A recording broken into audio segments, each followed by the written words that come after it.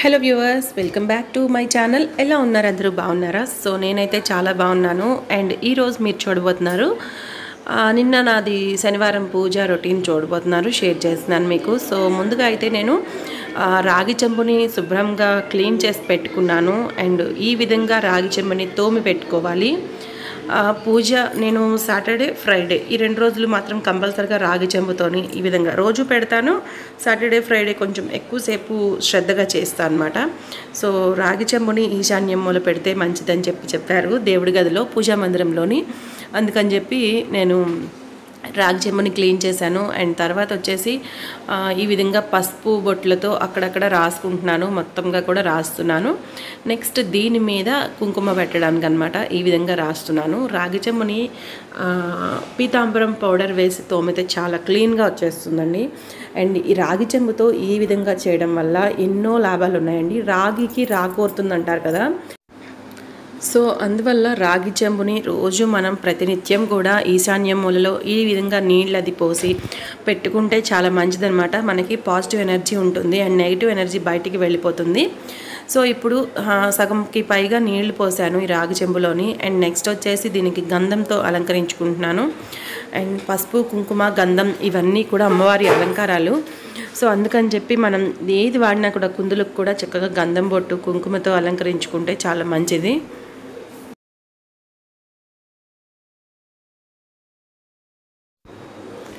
So ఇప్పుడేమో పసుపు రాసుకోవడం అయిపోయింది రాగి చెంబుకి అండ్ గంధం కూడా పెట్టుకోవడం అయిపోయింది కదా. నెక్స్ట్ వచ్చేసి నేను కుంకుమని బొట్టు లాగా పెడుతున్నాను. సో ఒక ఐదు చోట్ల పెట్టాను. అండ్ రాగి చెంబు చుట్టూ కూడా పెట్టుకుంటే మంచిది. మధ్యలోనేమో వాటర్లో పసుపు వేశాను. అండ్ కొంచెం తెలుపు రంగు అక్షింతలు అంటే బియ్యం అనమాట బియ్యం వేశాను. అండ్ నెక్స్ట్ వచ్చేసి ఇందులో రోజ్ వాటర్ కూడా వేశాను. తర్వాత ఇప్పుడు గవ్వలు వేస్తున్నానండి.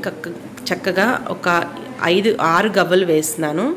ఆరు గవ్వల్ని వేసుకొని ఆ తర్వాత మనం ఇందులో గోమతి చక్రాలను కూడా వేయాలన్నమాట. సో గోమతి చక్రాన్ని ఒకదాన్ని వేస్తున్నాను. అండ్ గవ్వలకి గోమతి చక్రాలకి కూడా నెగిటివ్ ఎనర్జీని బయటికి పంపించేసే శక్తి ఉంది. సో పాజిటివ్ ఎనర్జీ ఉంటుందన్నమాట. అంటే ఆర్థిక సమస్యలతో బాధపడేవారు కూడా శుక్రవారం కానీ శనివారం కానీ ఇలా చేయడం చాలా మంచిది. ఒక రూపాయి కాయిన్ కూడా వేశాను అండ్ ఒక పువ్వు వేశాను అనమాట సో దీన్ని మనం ఇప్పుడు ఎక్కడ పెట్టుకోవాలంటే పూజ మందిరంలో ఈశాన్యం మూల ఇలా శుభ్రం చేసుకొని పద్మ ముగ్గు వేసుకోవాలి. ఐదు అష్టపద్మం అంటారు కదా అష్టదళ పద్మాన్ని ఏర్పరచుకొని ఈ విధంగా ముగ్గు బియ్య పిండితోనే వేసుకోవాలి. ముగ్గు పిండితో కాదు నీట్గా తడిగుడ్డ అది పెట్టి తుడిచేసుకొని మనం ఈ విధంగా తెల్లవారుజామున నేను నాలుగో గంటకి ఈ విధంగా చేస్తున్నాను. బ్రహ్మ ముహూర్తం అనమాట మనం ఎలాంటి పనులు చేసినా కూడా బ్రహ్మ ముహూర్తంలో చేయడం వల్ల చాలా మంచిది. సో మధ్యలో కూడా కాస్త పసుపు కుంకుమ వేస్తున్నాను. శుభసూచకం కదండి పసుపు అది కూడా శుభసూచకం. దీని మీద నేను ఈ రాగి చెంబుని పెట్టుకుంటున్నాను అనమాట సో ఈ పెట్టుకోవడం అయిపోయింది కదా ఇంకా నేను నెక్స్ట్ వెంకటేశ్వర స్వామి దీపారాధనకి వెళ్ళిపోతున్నాను. పిండి దీపారాధన చేసుకున్నానండి. ఈ విధంగా పిండి దీపారాధన చేస్తే చాలా మంచిది అనమాట అందువల్ల శనివారం రోజున ఖచ్చితంగా పిండి దీపారాధన చేస్తున్నాను.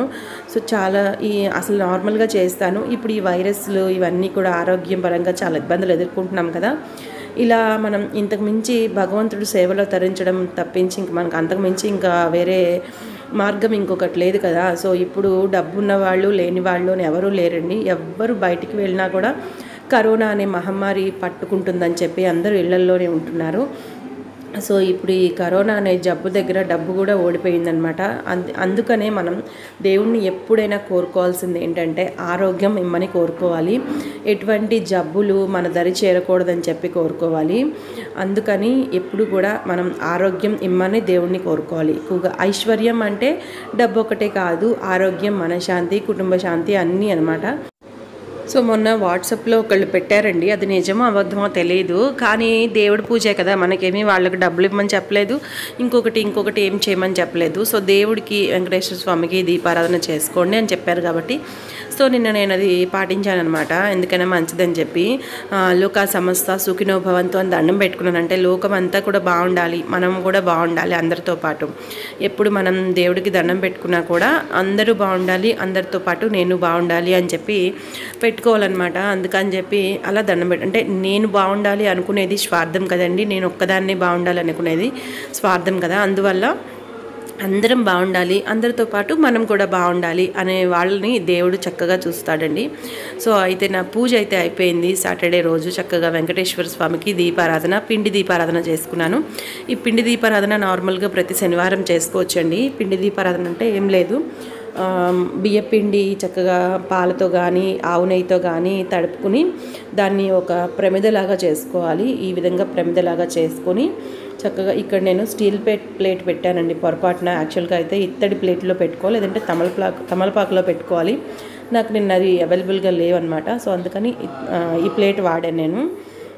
అండ్ నెక్స్ట్ వచ్చేసి ఈ చేసాం కదా పిండి దీ పిండి దీపం.